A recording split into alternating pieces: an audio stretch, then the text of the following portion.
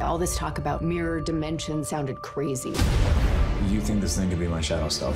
Why didn't you tell me that that thing you were chasing was you? It's not me. We're on the same side here. Every day I believe that just a little bit less.